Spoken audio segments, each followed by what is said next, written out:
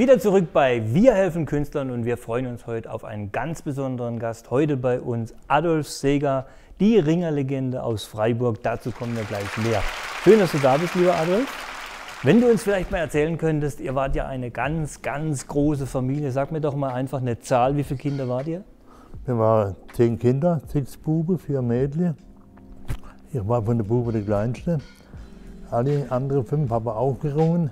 Mhm. Und der Edmund, der war mein Vorbild, der war der erste Olympiateilnehmer in Südbade und erste, äh, der erste deutsche Meister. Das heißt, und das war, Südbade war ja. normalerweise Fleck ja. im Ringe. Aber das bedeutet, äh, du hast schon sehr früh äh, deinen Hang zum Ringen gefunden über die Familie. Mit fünf Jahren bin ich Mit mitgelaufen. Und dein Bruder war dein Vorbild? Ja, ja, wie gesagt, jeder war mindestens mal südbadischer Meister. Jeder. Wahnsinn. Und der Edmund war dann aber, wie gesagt, der beste Mann und da war Olympiateilnehmer, war mein ganz großes Vorbild. Mhm. Und dann hat es, hat es gleich so begonnen mit Ringen oder musstest du dann erst eine Ausbildung noch machen, so wie man so ein klassisches Spiel heute macht? Ringe ist ja so, dann geht man hin, da ist man dabei. Mit fünf Jahren kam man, kam man nicht da systematisch nach Plan. Da hat man halt mitgemacht und mhm. rumturnt und gemacht. Und ich bin halt reingewachsen. Mhm. Reingewachsen heißt für mich, du hast das mit dem fünften Lebensjahr begleitet und ähm, erzähl mir doch mal was zu, zu deinem weiteren Vorgehen. Also du hast mit fünf Jahren gerungen, dann musstest du ja irgendwann mal über die Schule äh, dann auch mal an eine Ausbildung rangehen oder an eine Berufsausbildung. Was hast du denn da gemacht? Ja, ich, hab dann, äh, ich war dann beim Zander, wie gesagt. Zander ist ein Elektro-Großhandel ja. hier in Freiburg? Und dann habe ich halt irgendwie da gemerkt, dass ich da nicht die Zeit kriege, wo ich brauche für Lehrgänge, Länderkämpfe, Vorbereitung, Olympiavorbereitung mhm. und so weiter. Das wäre alles nicht gegeben, wenn ich beim IW Zander geblieben wäre. Mhm. Also hättest du keine Zeit bekommen, um dein Training so durchzuführen, wie es notwendig wäre? Ich habe mir nahegelegt, entweder ringst oder schaffst du bei uns.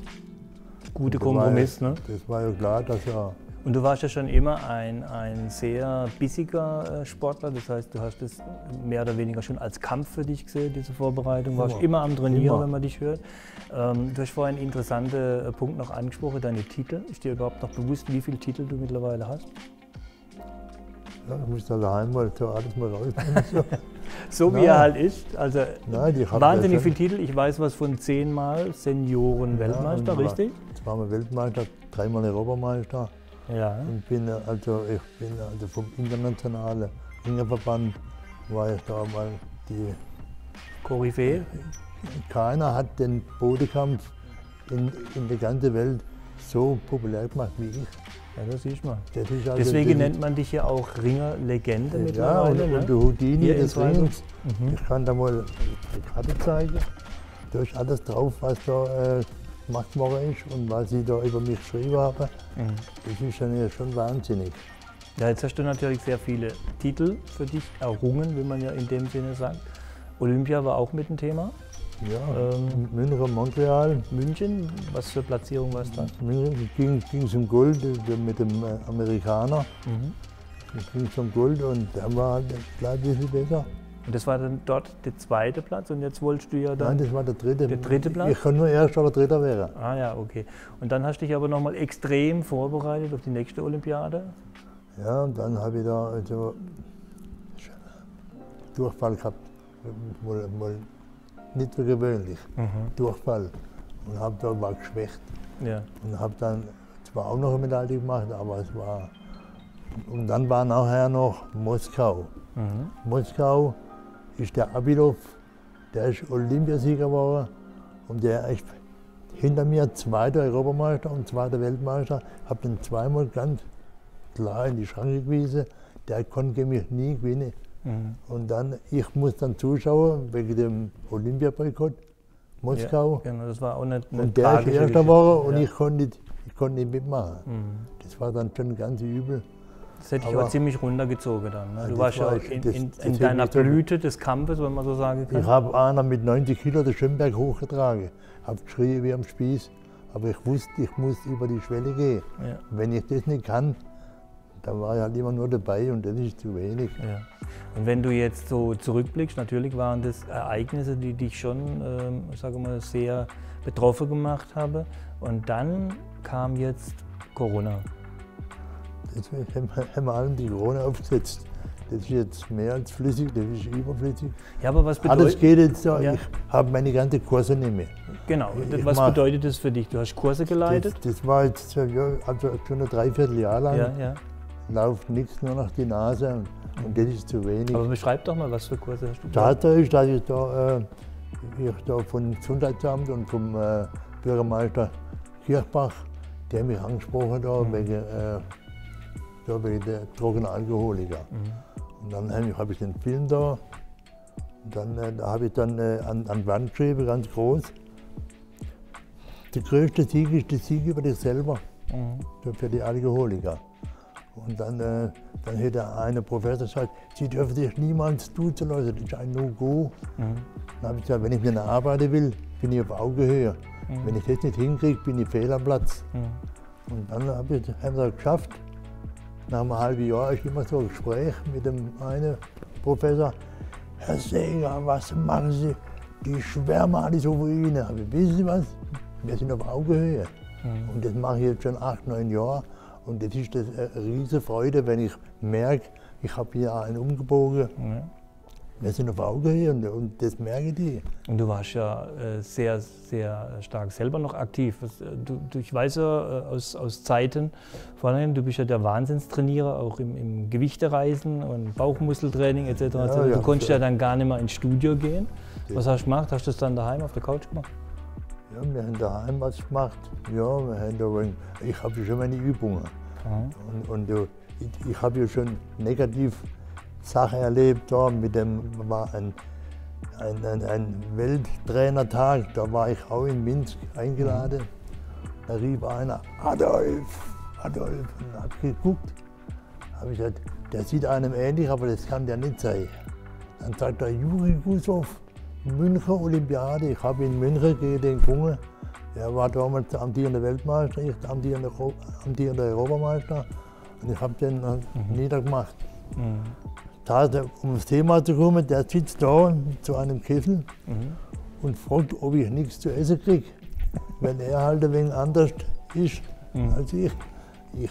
Du mhm. kannst nicht, nichts machen, du bist schlimmer dran wie einer, der nie was gemacht hat.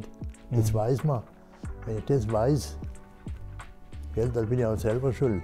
Also das kennt man ja von dir, du bist immer nur am Trainieren, wenn man dich hört, aber du hast auch ein sehr hohes Maß an sozialem Engagement. Du hast zum Beispiel dein Preisgeld damals für was genau gespendet? Für die Kinderkrebshilfe bin ich schon zig, zig Jahre bin ich da schon engagiert. Mhm. Das, äh, der Anfang war mal eine Krankenschwester von, von der Kinderklinik, mhm. die hat mich angerufen und hat gesagt, Herr Säger, können Sie mal kommen, da ist ein junger Bub, der ist in der Nähe von Tuttlingen, der ringt und der ist ein riesiger Fan von ihr. Mhm. Wenn sie käme, das wäre für den ein riesiger Schub. Der, der da, und da bin ich halt hingegangen und die, die Schwester da, die hat mich da mal vor ein paar Wochen angeschrieben, äh, angesprochen. Ja, ich war damals die Schwester, wo, damals, wo das losgegangen ist. Und die hast du noch erkannt? Die Schwester? Oder hat die sich auch so verändert? Sie hat, sie hat sich da, äh, mir vorgestellt, mhm. sie ist die Krankenschwester, wo damals. Ja. Und das, äh, das sind so die schönen Sachen, wo dann mhm. hängen bleiben. Ja. Und, äh, und da ist dein Preis gespendet. Wie hoch war das damals? Ja, das, das war 18.000 Dollar. Dollar. Und ich habe auch die andere Prämie, die ich gehabt habe, mhm. habe ich immer. Oder in Kalifornien habe ich so eine Dose. Mhm. Und äh, da mache ich dann Training mhm. mit den Leuten. Und die machen da was in Dosen rein und das wird alle Monate erwähnt. Mhm. Aber jetzt läuft gar nichts.